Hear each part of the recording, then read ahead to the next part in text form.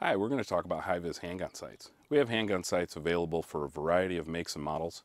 Handgun sights are very specific to make and model. Unlike shotgun sights or rifle sights that are reasonably universal, handgun sights are very specific.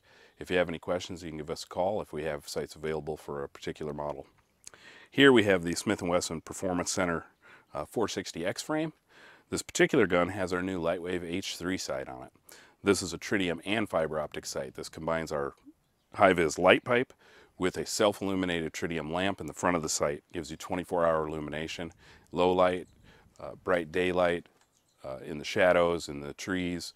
Uh, you're going to have illumination on sight. You're going to be able to see your sight. HIVIZ, we have uh, handgun sights available for many makes and models. If you want some more information, give us a call or contact us on our website.